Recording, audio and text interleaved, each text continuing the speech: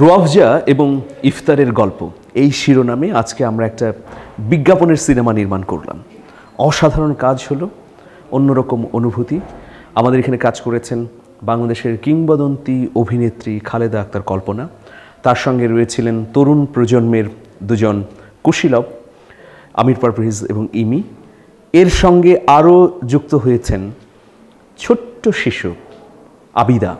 অসাধারণ তার এক্সপ্রেশন অভিনয়, একদম মিলেমিশে একাকার বাঙালির একটা মধ্যবিত্ত বা অভিজাত পরিবারে ইফতার নিয়ে যে ধরনের গল্প থাকে, ইফতারের প্রতি যে ধরনের ভালোবাসা থাকে, ঠিক এর সঙ্গে একদম মিলেমিশে একাকার হয়ে আছে রুয়াফজা।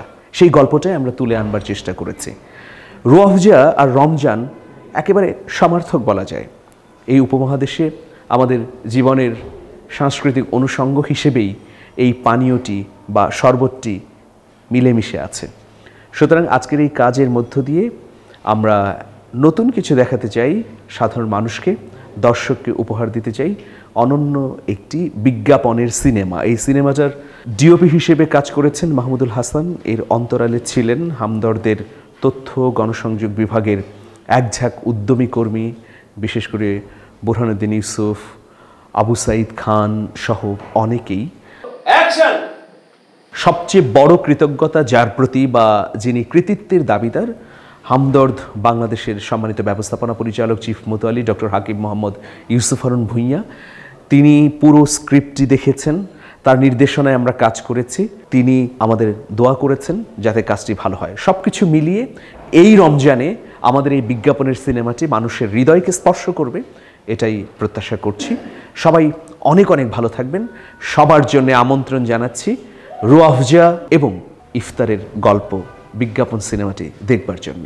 শুভেচ্ছা নিরন্তর। রুয়াফজা এমন একটা শরবতের নাম যেটা শুধু বাংলাদেশেই নয়, আমার মনে হয় এটা সারা বিশ্বেই পরিচিত এই শব্দটা। আসলেই রুয়াফজা একটা ভীষণ উপকারী একটা শরবত। আমি আমার ছোটবেলা থেকে আমি এটার নাম শুনে এসেছি। তাহলে বুঝেন যে এটা কত বছর ধরে চলছে। ভালো না হলে উপকার না পেলে কি চলে? ছোটবেলা তো না বুঝিয়ে খেয়েছি। কিন্তু বড় হওয়ার পরে বুঝে শুনেই খাচ্ছি এবং উপকৃত হচ্ছি।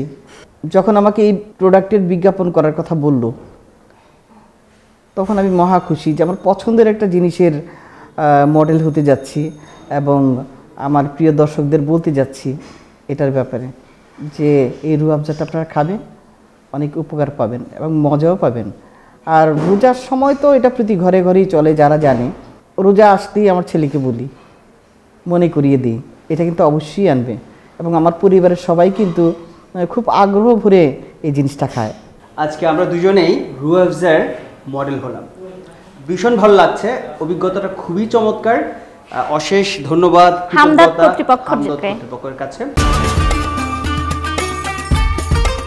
দারুণ স্বাদ ও রঙের রুহ আফজা। দিদিমণি রুয়াবজি এত ভালো কেন? কারণ রুয়াবজা থেকে আমরা দ্বিগুণ প্রশান্তি পাই। সেটা আবার কি? প্রথমত রুয়াবজা শরীরের ক্লান্তি দূর করে দ্বিতীয়ত রুয়াবজা থেকে অর্জিত আয় ব্যয় করা হয় মানুষের কল্যাণে। ফলে মানসিকভাবে শান্তি পাই। তাহলে কি হলো? দ্বিগুণ প্রশান্তি। বাহ দারুণ তো। দ্বিগুণ প্রশান্তি নিয়ে শরবত রুহ আফজা।